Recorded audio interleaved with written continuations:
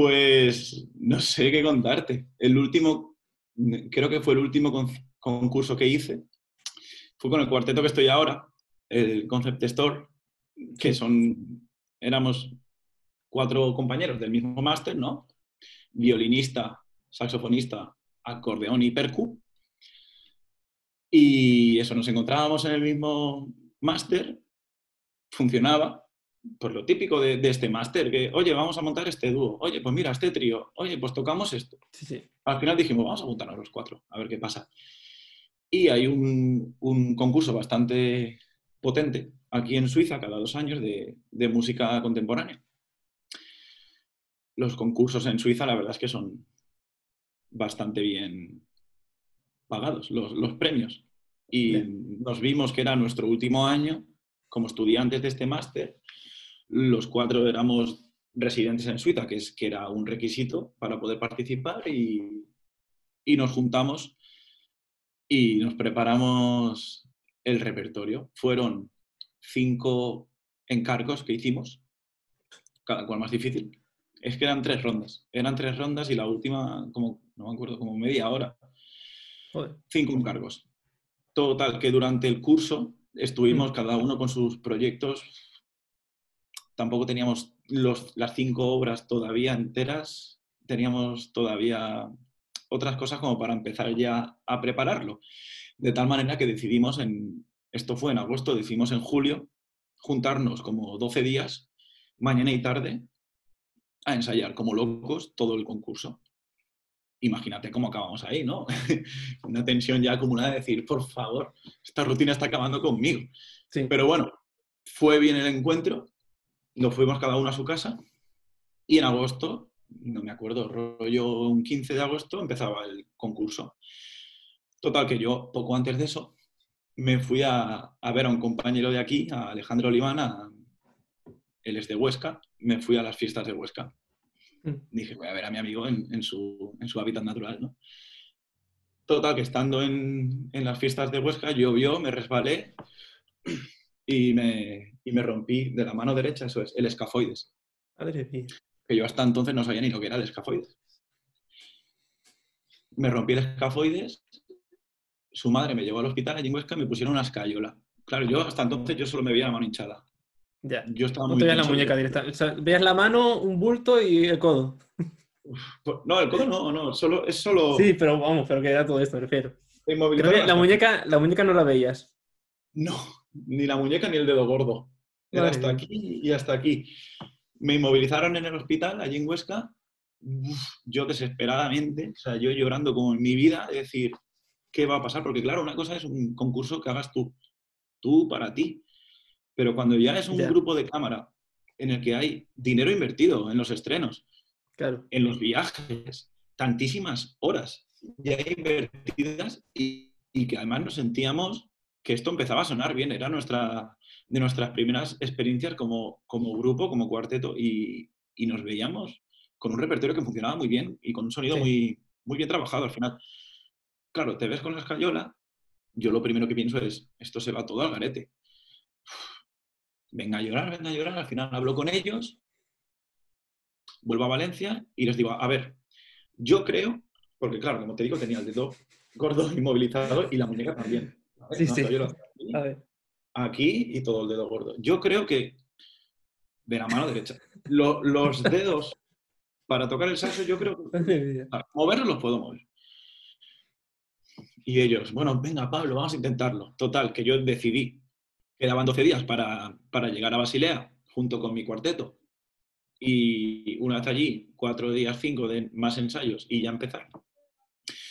Y yo durante esos 12 días en Valencia decidí tener un reposo absoluto. Dije, bueno, a ver, hasta lo poco que sé de, de huesos, eso se tiene que inmovilizar y ya está. Venga, voy, voy a parar del todo. Simplemente hacía un poquito de, no sé, notas largas, con el Tudel para no perder al menos en bocadura. Y ya está. Llegué allí, llegué allí, claro, mis amigos estaban avisados, pero fue un shock de dar al, primero un abrazo, todas las cayolas en la espalda. Madre mía, ¿qué está pasando? Fue un shock para todos, pero bueno. Primer ensayo. el antebrazo, pero, pero hinchadísimo. un amigo mío fisio de, de, mi pueblo que me ayudó mucho en los 12 días de antes, le llamé ahí llorando, ¿qué pasa? Tal. Nada, Pablo, seguro que es porque está muy apretada, aflójatela, ya que vas a darle movimiento y has tenido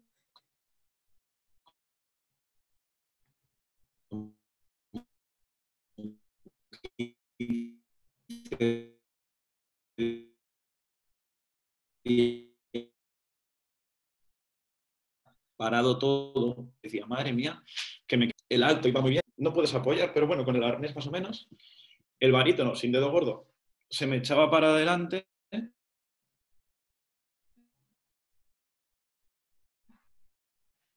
Pero bueno. O sea, se me un montón.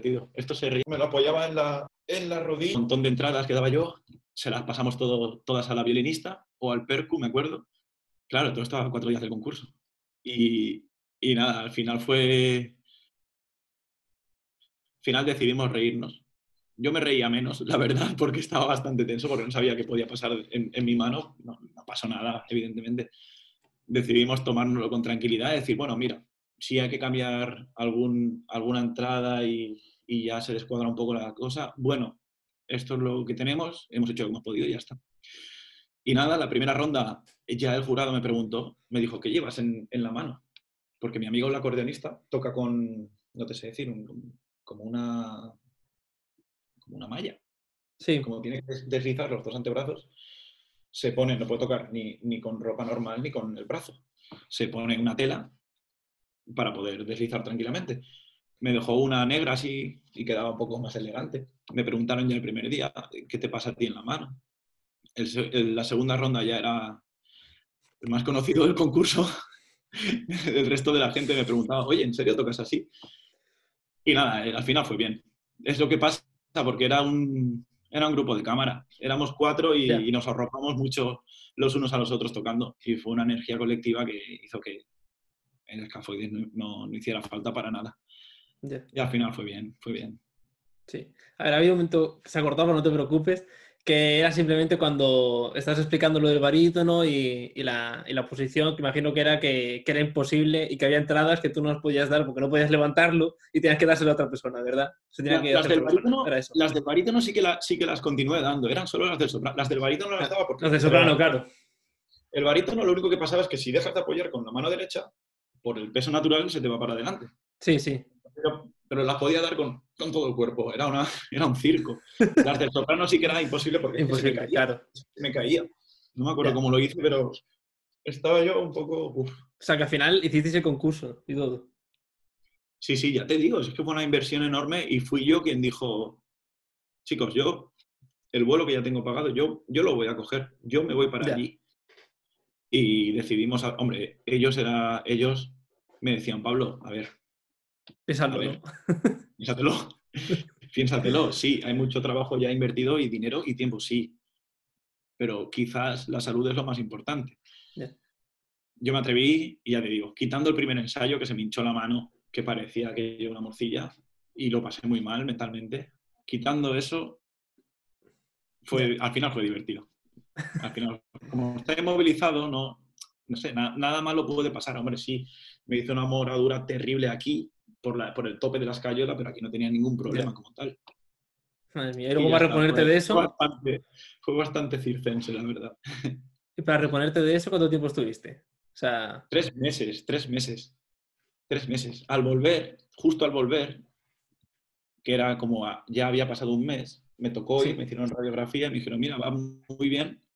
Yo me callé, yo dije, yo no lo claro, decir, todo callado, ¿no? Yo calladísimo, me dijeron, oye, pues va muy bien. Está bien que, mu que muevas la mano, yo un poco sí que la he movido. Al segundo mes, lo mismo, me quitaron la escayola, me volvieron a hacer la radiografía, yo ya iba diciendo, venga, va, que yo ya lo veo bien. De hecho, al médico le dije, ya no me duele, y me dijo, ah, no, mira, pum, me reventó la mano. Dije, vale, déjala, dejamos un poquito más. Y nada, fueron tres meses, tres meses. Me acuerdo de celebrar mi cumpleaños en octubre, yeah. también con la escayola, y a los tres días o así eh, quitármela. Donde trabajo ahora, la primera clase la di como último día con escayola. me acuerdo.